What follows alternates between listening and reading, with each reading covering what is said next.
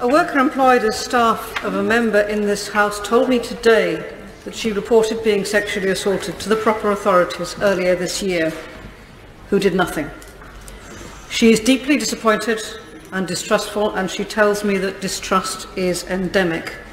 How can I assure her that her complaint will now be treated differently?